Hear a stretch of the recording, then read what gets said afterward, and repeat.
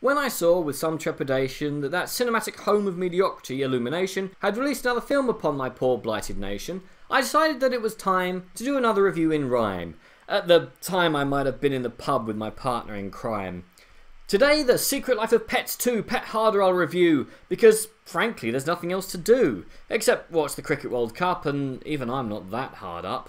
Seriously though, for those playing Illumination Movie Bingo, you'll hit a full card and go, Eureka! I've wasted 86 minutes of my life when I could have been writing poetry about my wife. Or watching Dumbo, The Nightmare Before Christmas, or Toy Story, infinitely better films from the animation category, because, as usual, what else is there to say? For professional voice actors, this studio won't pay. For them, Countless celebrities are the order of the day, the animation's solid, although being CGI, it'll look dated before this film's on DVD to buy. And if I didn't know better, I'd swear this film was three episodes edited together, of some TV show that I'd watched never.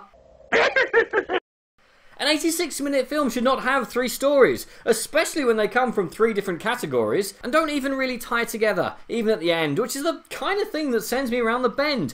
I don't mind a subplot here or there, even in a kids' movie, that's only fair. It keeps my nephew distracted and quiet, but it makes me want to start a riot. Even IMDb doesn't know what to say. Continuing the story of Max and his pet friends following their secret lives after owners leave them for work or school each day. It sounds like a pitch of a story outline, not the story of something that's already leaked online. Allegedly, I wouldn't know. Pirating films online doesn't help cinema grow, but each of these plots alone could have been an interesting flick, but all mashed together they're all very anemic, fairly generic as well. No moment stands out because with no time to breathe, each story exists in plot drought. Hell, it was 20 minutes before the plot turned up. And just when I was wondering if it had been locked away, I've seen higher stakes in a game of croquet in two of the three stories anyway. There might have been in the third, were it given time to go the whole way, but one third of an 86 minute runtime allows no time to breathe, so honestly, I think you should leave this glorified toy commercial to be found online because whilst as a film it's perfectly fine, there's nothing more to be said, and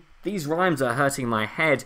It's yet another film from Illumination, whose relationship with trying isn't even a flirtation. It's just a few weeks until Toy Story 4. Even though another pointless sequel, it won't be a bore. It'll have characters, light, stakes, and fun galore. Everything missing from this cinematic bore. But it's bright and maybe a few moments are okay, so if you're desperate one rainy day, then Toy Story with dogs will have to do. Just lower your standards and prepare for a sleep, because doing anything else will just make you weep. So I guess what I'm trying to say, guys, is yet again, if nothing else is out for whatever reason you don't want to go and see Godzilla, which you should, check this out. Otherwise, just don't bother. But what did you guys think? And what is your favourite what things get up to when we're not looking film? Because I guess that's a mini genre now. Comment below, let me know. I'm Daniel, Spinner Donkey. If you enjoyed this video, please like, share, and subscribe.